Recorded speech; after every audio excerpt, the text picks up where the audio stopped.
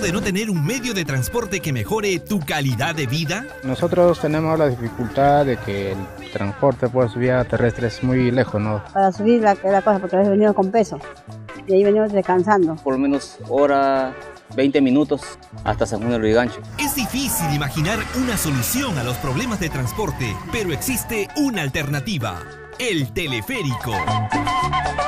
Diariamente, vecinos de Independencia y San Juan del Urigancho se trasladan desde muy temprano a sus centros de trabajo y regresan tarde a sus hogares. Es decir, no pasan mucho tiempo en familia. Nosotros tenemos la dificultad de que el transporte por vía terrestre eh, nos estaría pues demorando dos horas aproximadamente para llegar al distrito de San Juan del Urigancho y acá del distrito de Independencia. Salgo a las 5 de la mañana, 7 de la mañana tengo que estar ahí en mi trabajo. Bueno, regreso a las 7 de la noche, acá estoy 9 y media de la noche.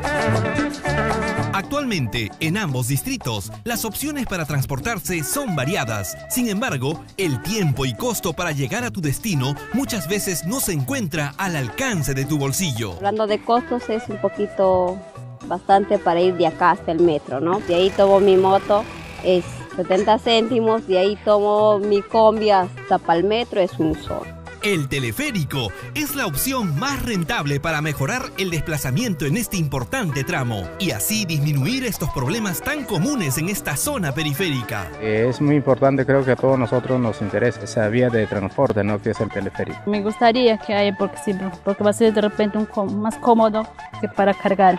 Paralelamente a esta nueva alternativa, existe un proyecto que unirá el Agustino con Santanita, con el cual se aliviará el problema del tráfico en esta parte de la ciudad a través del consorcio compuesto por Protec, Cal y Mayor y Ardanui, por encargo del Ministerio de Vivienda, Construcción y Saneamiento, se está desarrollando un proyecto de largo alcance y de impacto inmediato, eficiente para cubrir esta demanda.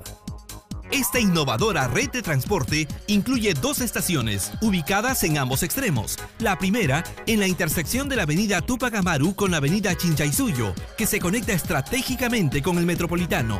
Y la última, ubicada en la intersección de la avenida Próceres de la Independencia con la avenida El Sol, que se unirá con la línea 1 del segundo tramo del metro además de tres estaciones intermedias. La segunda se ubicará en la parte alta del cerro, cerca al cementerio, en el distrito de Independencia. La siguiente se ubicará entre los asentamientos humanos Jesús de Nazaret y San Lorenzo, en Independencia.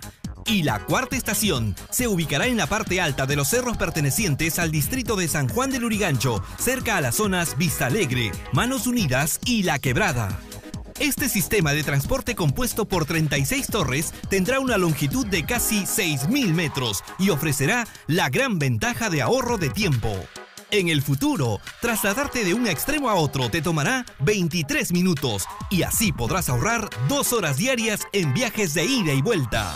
El proyecto agilizará las actividades económicas permitiendo un desarrollo en la población.